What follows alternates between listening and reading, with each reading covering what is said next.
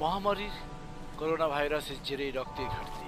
বিজ্ঞান প্রযুক্তিকে কাজে লাগিয়ে অনেক কৃত্রিম অঙ্গ প্রত্যঙ্গ তৈরি করতে পারলেও এখনও বিজ্ঞান কৃত্রিম রক্ত তৈরি করতে প্রস্তুত হয়নি।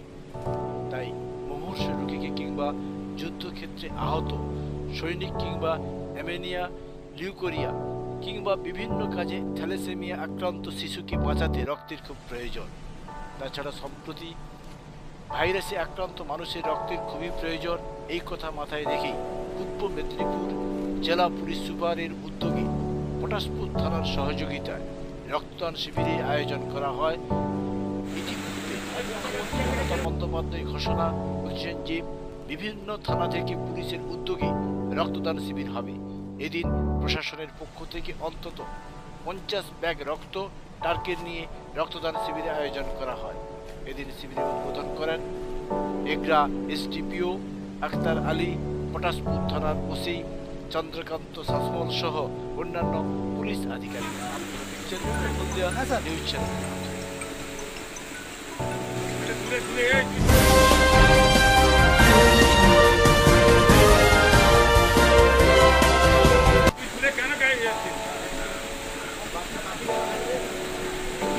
তুলে কেন Câmbio.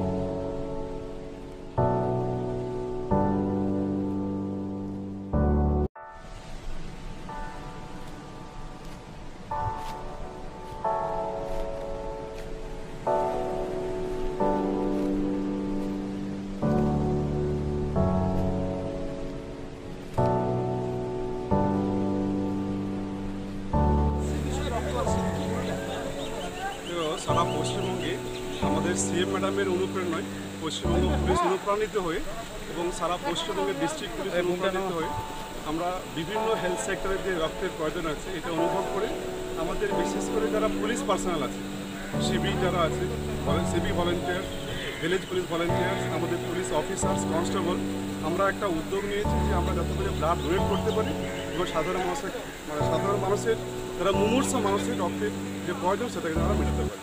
এই উদ্দেশ্যে কিন্তু আজকে আমরা এই ব্লাড মানে ব্লাড ডোনেশন ক্যাম্পটাকে আমরা আয়োজিত করেছি সেটা যতটা আমরা পারি পুলিশের পক্ষ থেকে, যতটা আমরা ব্লাড যতটা আমরা হেল্প করতে পারি, যাদের যে সকল হেলথ সেক্টরের রক্তের প্রয়োজন, সেটা আমরা পুলিশের পক্ষ থেকে যতটা আমরা দিতে পারি, এটা আমরা দেবো। এই জন্য এটা আমার নাম আক্তার আলী।